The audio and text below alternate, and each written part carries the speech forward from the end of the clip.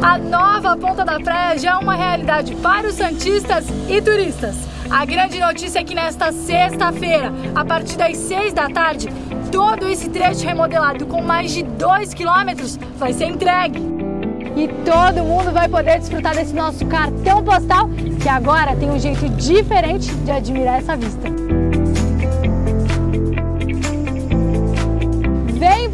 Traz toda a família. Vai ser um dia com programação especial, música ao ar livre e muitas outras atrações.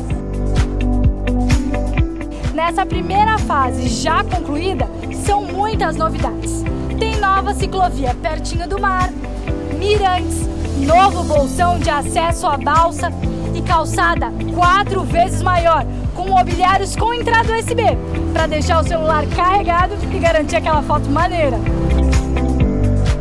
Trecho tem agora quase o dobro de árvores, uma fonte interativa para as crianças, com água reutilizada e filtrada, dois quiosques temáticos que logo estarão funcionando. Uma pista novinha com vagas para os carros e 70 novos postes de iluminação em LED. Para por aí. No primeiro semestre de 2020, a Ponte Edgar Perdigão e o deck do Pescador estarão reformados. A Praça Gago Coutinho vai ser toda transformada e bem próximo ao ferry boat vai ter um novo terminal de ônibus. Sem contar o novo mercado de peixes e um centro de convenções público. Obras que seguem em ritmo acelerado, com mais de 500 empregos diretos.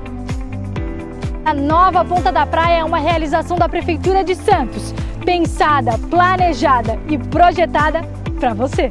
Uma revitalização a custo zero para os cofres públicos. As obras estão sendo feitas pela iniciativa privada como compensação pela mudança de uso de dois terrenos particulares.